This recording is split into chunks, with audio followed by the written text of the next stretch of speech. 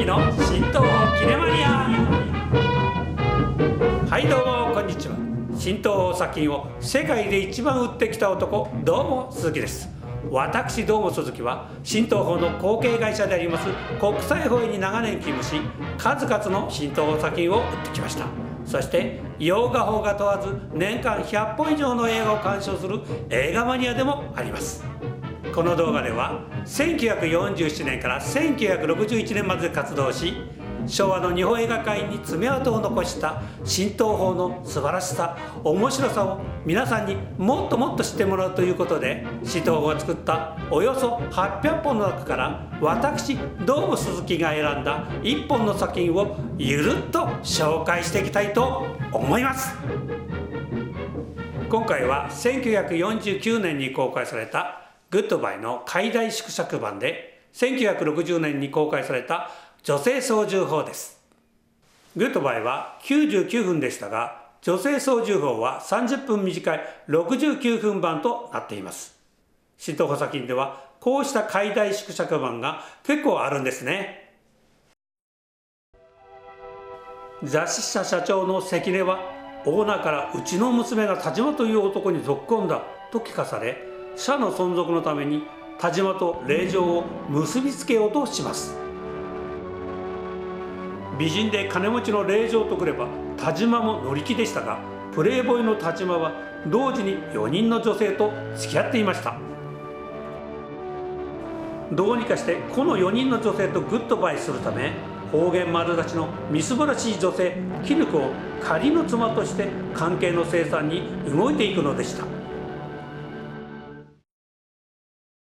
原作は太宰治が高峰秀子をイメージして朝日新聞で連載された作品でしたが太宰の心中事件で未完となってしまいます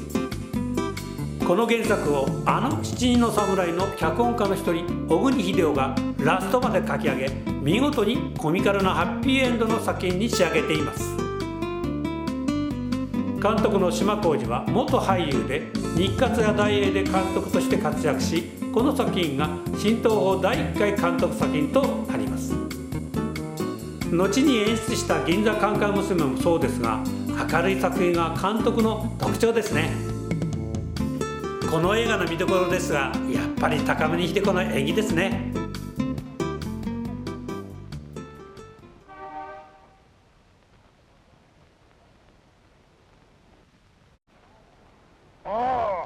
君は長井君かあれ？嫌だねこの人。やっと今腹だと分かったかい。しっかりするな。ポカンとした面して。私がこの家から飛び出せばいいんですもの。うちも財産も。みんな弟にやって。私ねこんな家よりも小さなアパートかなんかの片隅でのびのびと自分たちの幸福だけをそっと守り続ける。そんな生活がしたいんですのよ。方言丸出しの担ぎ屋と参加の令状を演じる一人二人とは見事ですよね。それとクラーク・ゲーブル並みのちょびひげを生やした森正幸の慌てふたむく様子も面白いですよね。また制作された1949年頃の日本はアメリカの統治下でした。そのためアメリカ内されたシーンが随所に見られます。敗戦から4年後の銀座和光や日比谷付近九段下の公共周辺のオープンカフェ風レストランなど当時の風景を見ていくのも古い映画ならではの面白さなんですね。